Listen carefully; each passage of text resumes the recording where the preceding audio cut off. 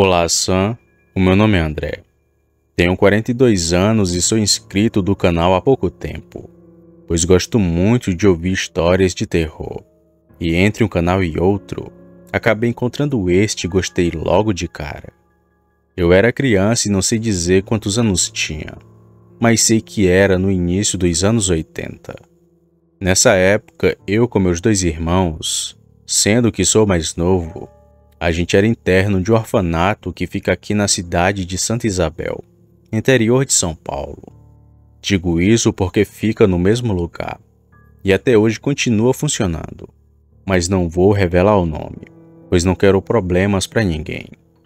Bom, e por falar em histórias de terror, eu já fiz parte de várias desde a infância e até hoje na vida adulta.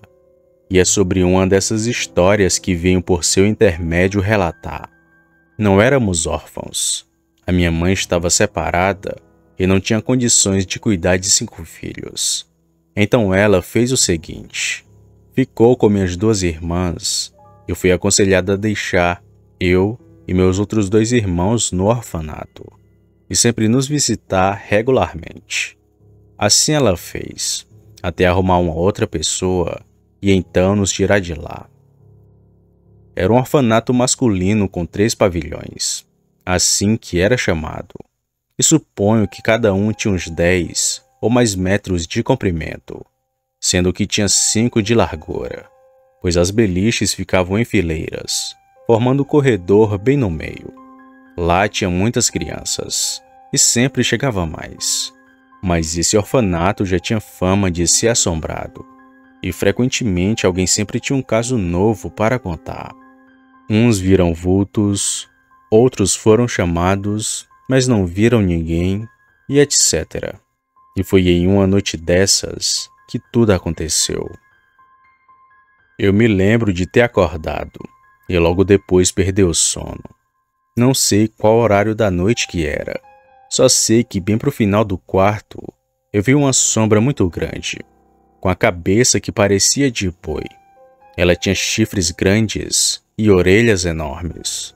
Não tenho certeza se era cabeça de boi ou bote. Eu estava longe e o lugar estava totalmente escuro. Essa coisa rodava beliche numa grande velocidade, passando por baixo e por cima. Sempre parava no mesmo lugar, ficando em pé e mexendo no Osvaldo, um dos meus amigos, e que não acordou em nenhum momento, pois eu saberia se ele tivesse acordado e acredito que, se acordado por um ser demoníaco daqueles, é impossível não gritar. Foi então que percebi que este ser estranho continuou mexendo com o garoto. Mas o que mais me chamou a atenção foi que de repente surgiu como uma fumaça uma outra criatura, com as mesmas características daquela que já estava ali. Porém, era bem menor. Parecia até o filhinho daquela maior. E digo fumaça porque, mesmo estando no escuro, eu vi que a criatura menor se formou instantaneamente, como vinda do nada, e ambas faziam a mesma coisa, o movimento rotativo em alta velocidade, e paravam sempre no mesmo lugar, mas agora um do lado de lá e o outro do lado de cá. Confesso que não tive medo, pois não estava entendendo exatamente o que era aquilo e o porquê de estarem ali com Oswaldo. E parece que aquilo não notaram a minha presença, ou talvez só me ignoraram, se bem que fiquei quieto no meu canto e fiz por onde não chamar a atenção daquilo. Tanto que acabei dormindo sem perceber. E no outro dia, assim que acordei, contei para o meu irmão do que vi. E para minha surpresa, ele também viu aquelas duas criaturas. E fora ele quem me disse que era a cama do Osvaldo e do Guto, sendo que o Osvaldo ficava em cima. Eu perguntei para os dois se eles viram um bicho mexendo neles durante a noite. Um olhou para o outro e balançaram a cabeça afirmando que não. Então ficou por isso mesmo, e a gente não falou sobre isso a mais ninguém. Mas lá era sinistro. Eram os cachorros que apanhavam sem ter alguém batendo, vozes no banheiro, passos no forro, que para variar era um forro de madeira e apenas uns meio metro abaixo do telhado. tornando impossível de alguém andar ali, sem correr o risco de cair com forro e tudo. Esse foi o meu relato. Me desculpem por alongar demais até chegar no fato ocorrido, pois tive que mencionar detalhes relevantes e importantes que justificassem eu estar ali, em um orfanato com meus dois irmãos. Obrigado por contar meu relato, Sam, e tenham todos uma boa noite.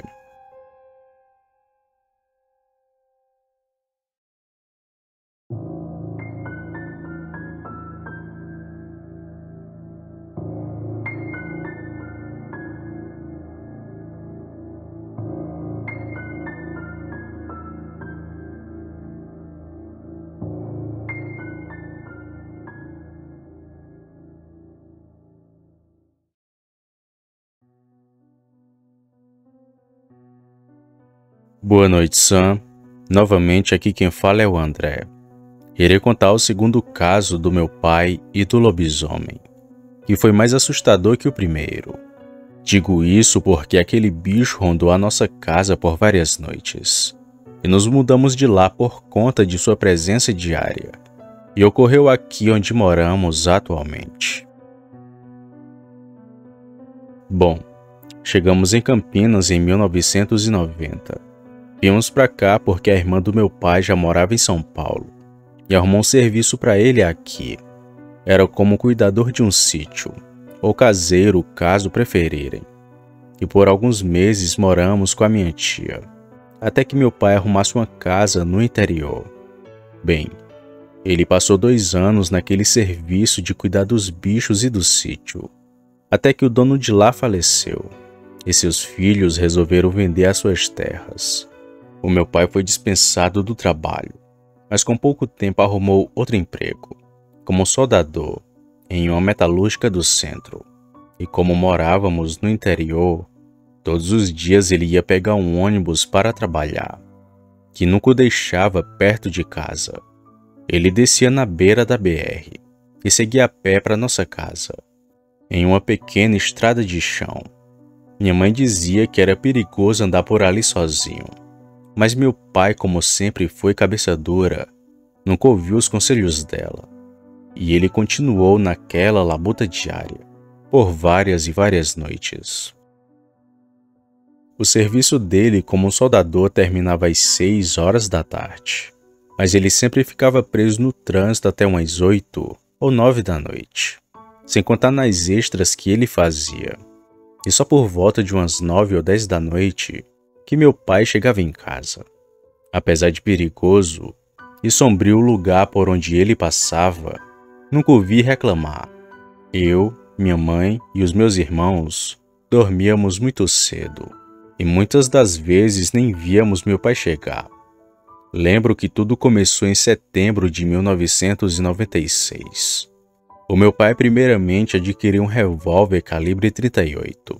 E como se isso não bastasse, depois de duas semanas, ele comprou um outro e deixou na guarda do meu irmão mais velho, que na época tinha somente 16 anos. Eu ainda tinha 14, mas já mexia com essas coisas também.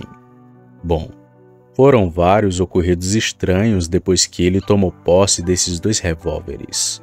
Primeiro, que ele começou a se reclamar demais do lugar onde a gente morava. Segundo, que sempre acordava ou eu ou meu irmão para a gente ficar na sala olhando pela janela. E nem sonhávamos em saber de fato o que acontecia ali, já que ele nunca falava nada. Lembro que teve uma vez que meu pai iria fazer uma extra e mandou que a gente fosse dormir na casa da minha tia. Em outra, ele nos acordou e nos mandou ir para o quarto dele, que era onde minha mãe também dormia. Naquele dia, meus cachorros latiam feito loucos dentro de casa, e por um tempo achei que fosse para meu pai. Mas só depois que descobri para o que meu cachorro sempre latia. Nós só tivemos a certeza de que algo macabro acontecia por ali quando fomos acordados por tiros de revólver. Naquela noite fomos dormir bem cedo como qualquer outro dia. A minha mãe trancou as portas e janelas e dormimos bem até certa hora da noite, até que fomos acordados com cinco tiros. Logo depois dos tiros, ouvimos meu pai gritando lá fora. E seus gritos me gelam a espinha até os dias de hoje.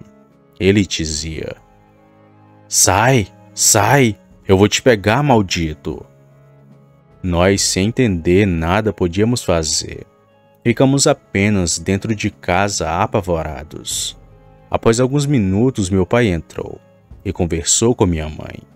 E aquela foi a última noite que dormimos ali. Pois no outro dia mesmo, logo pela manhã, pegamos algumas roupas e fomos novamente morar com minha tia. Depois de alguns meses, nos mudamos para uma casa na cidade grande. E só quando a gente já estava adulto, que nosso pai nos contou o porquê de todo aquele alvoroço.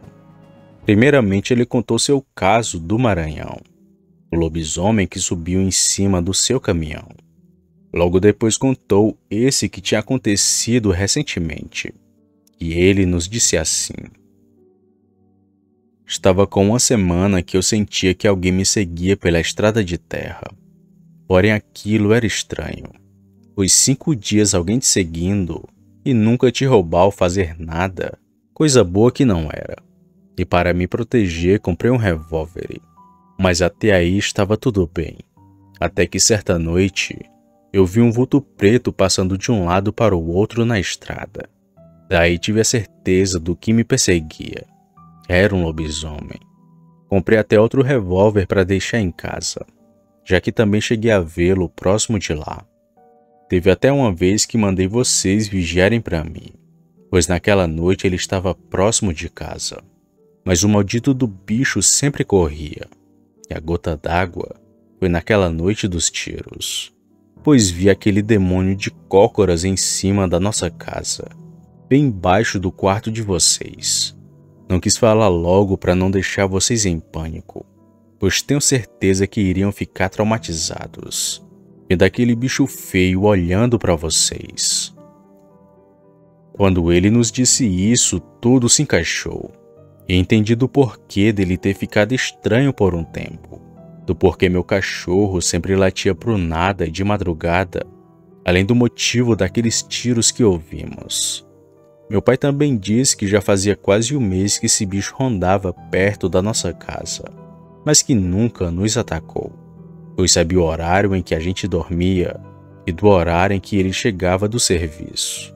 E também porque o bicho era muito inteligente, pois sempre fugia quando meu pai estava por perto. Por várias noites eu fiquei com medo de dormir cedo, e sempre durmo tarde até os dias de hoje. Atualmente moro aqui na região mais movimentada da cidade, e torço para nunca ver um bicho feio desses. Boa noite.